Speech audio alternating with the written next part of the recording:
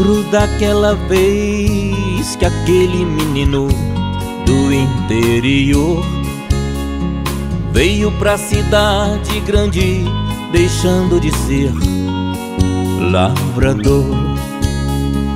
Veio pra comer no prato da ilusão do pão que o diabo amassou. Veio pra comer no prato da ilusão do pão que o diabo amassou. Tantas vezes deve ter dito a si mesmo: não é mesmo fácil sobreviver. Tantas vezes deve ter tido vontade de voltar sem poder.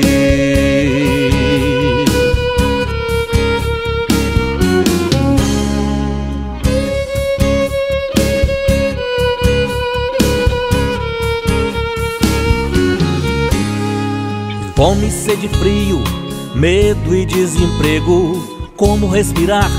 Difícil sem sossego. Sorte aparecer, um amigo do peito, pronto pra estender a mão, bom sujeito. Nunca foi tão fácil ganhar um dinheiro só pra carregar um embrulho maneiro e sem saber o que estava acontecendo, o menino carregou aquele pacote maneiro que lhe dava o dinheiro que ele nunca sonhou. E sem saber o que estava acontecendo, o menino se assustou. Um homem colocou em seus braços uma pulseira de aço e o levou.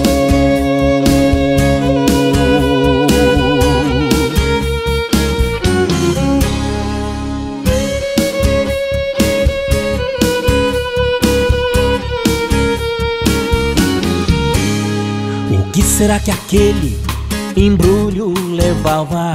Tanta coisa estranha o menino escutava. Tanta gente falando na mesma hora, dizendo: Menino, ponha tudo pra fora. E por não saber, não entender onde estava, lembrando do sertão, o menino chorava. E sem saber que estava acontecendo, o menino se lembrou das verdes montanhas da cascata, da casinha lá da mata que um dia deixou. E sem saber se um dia voltaria, o menino chorou. A cidade era tão grande, não tinha o que a sua cabecinha sonhou. Me lembro daquela vez que aquele menino do interior voltou da cidade grande e, como lavrador, ficou fugindo de algo tão medonho, esquecendo um sonho que desmoronou. Fugindo de algo tão medonho, esquecendo um sonho que desmoronou. Me lembro daquela vez que aquele menino